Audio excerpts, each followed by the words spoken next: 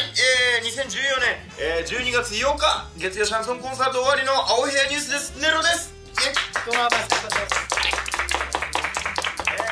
すねお二人が残ってくださったということでございまして青い部屋ニュースでございます、えーもう何でもね構いませんので、えー一言ずついただきたいなと。ご自分のこれあのもうどんどんどんどん宣伝でも、何でも何でもかんでも全部喋ってくださいそうですね。もう人生のこととかいろいろあのもう私はこうなのっていうことをですねもう世界に向けてあの言っていただければなと思っております、えーそれではですねあの本日の大鳥を取っていただきました岩原敏子さんです。どうぞ。私が特にあの今更あの人生も4分の3を割りましていいね。4分の3ですか。4分の3を割りまして4分の1になりました。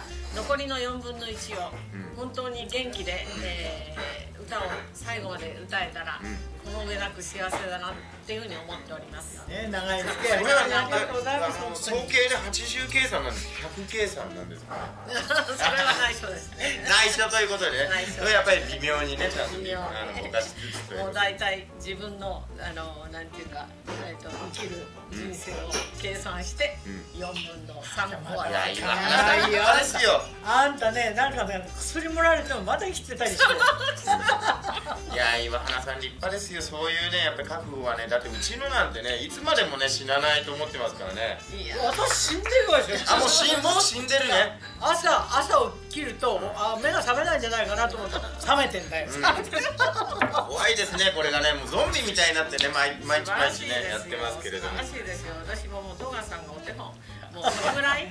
いやいやお手本。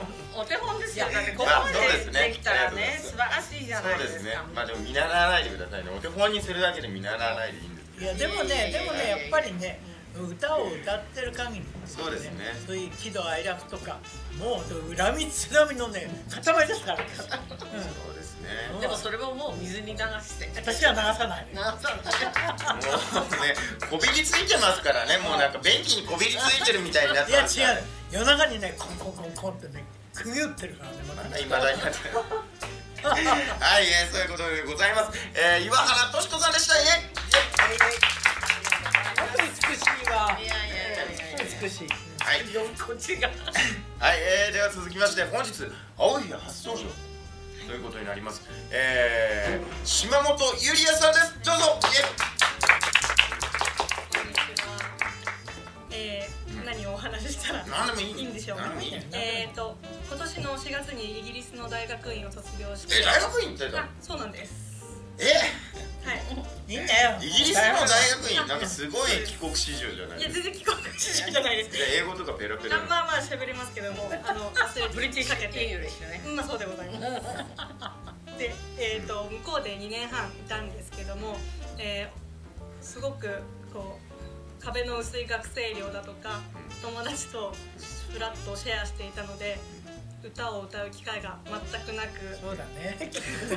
いい声してるよ。ありがとうございます。ね。ちょっと練習不足だったんですけれども今日出させていただいて嬉しかったです。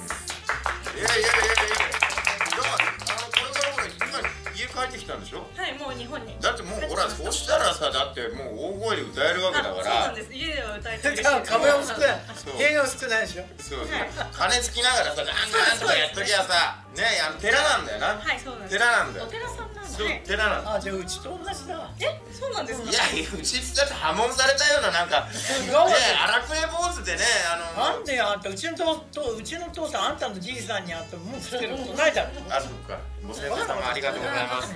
ご先祖様。いやうちはずっとねだから落ちうどで、うん。はいはいだから大阪夏の陣できっと負けたんじゃない？きっと。負けたんだな。それで寺の坊主になったという。だからこれからはだからあのね自分が歌いたいなと思ったらまず一発ガーンゴーンとやってゴーンって鳴ってる間にはい「なー」みたいなことやればいい。でもお寺のコンサートもねあるからね。あそうそうそうあそう。そういうのやってじゃあ呼んでください。そうお寺でやったこともある俺もやったことあるよそうよね。私もやったんでお寺でそう。だってあれだもんねあの住職さんってさ結構ライブじゃない？あそうですね、あのないんだよ違みたいうなとこドラムみたいな。生みたいなね。もあのあそう。生阿弥陀仏日蓮あそう。あ日蓮じゃない。ないあの親鸞。親鸞親鸞。親鸞。じゃあいざとなったらあの僕もあのねゆりあちゃんのところでチンチンチンチンやらせていただくということで。はい。真言宗。あ真言宗なんだ。はい。そうです私あのねそう。おお寺なのにね私キリスト教だ めちゃくちゃです。破綻してますから、ね、いやいいんです。はい、いいいんです。いんですいいんです。宗教宗教だからね。うん。信じる者は救われますそうです。救われないですよ。なかなかに 自分の心持ちで。はい、えー、そういうわけでございます、えー、本日もですねこういった素敵な、えー、個性的な皆様と共にですね月曜シャンソンコンサートやり遂げることができました。皆様本当にお疲れ様でした。お疲れ様でした。本当にこれからもまたよろしくお願い。しますでは最後にカメラへ向け向かって月曜日は月曜シャンソンコンサート毎週月曜日ここさらば東京でやってます。みんなぜひ遊びに来てね。よろしく。どうも。ね青部屋ニュースチャンネル登録はこちら。